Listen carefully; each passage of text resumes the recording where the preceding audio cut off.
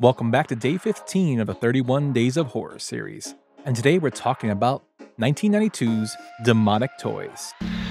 Gosh, really got some nice toys here.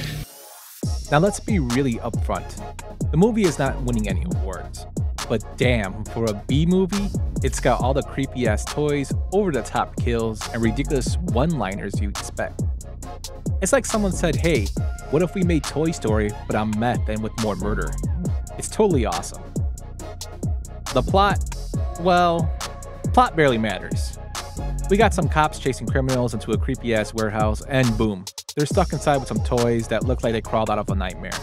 There's a jack in the box from hell, a teddy bear that's definitely seen some shit, and the star of the show, Baby Oopsie Daisy. Yep, a killer baby doll that talks like it's been smoking a pack a day and has no fucks to give. I can walk, I can talk, I can even shit my pants. It's insane and somehow it works. Let's be honest, Demonic Toys knows exactly what it is. This isn't The Exorcist, folks. This is pure, unfiltered B movie madness. The special effects? Yeah.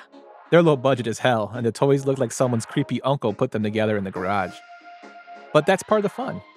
You're not watching this for realism. You're watching for killer toys, cussing people out, and tearing them apart. And on that front, it fucking delivers. Let's talk about the dialogue. Baby Oopsie Daisy's one liners? They're like Freddy Krueger if he had a trash talking foul mouthed baby sidekick. I mean, come on, you're either laughing your ass off or questioning your life choices. Shit! You got me!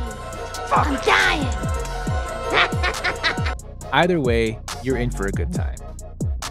It's the kind of movie where you grab some beers, sit back, and embrace the chaos. It's not trying to be anything more than what it is a fucked up toy box from hell. You want killer toys? You got them. You want ridiculous death scenes? You got them. And it's all wrapped up in a tight 90 minute package so it doesn't overstay its welcome. Look, is Demonic Toys a good movie? Oh, hell no!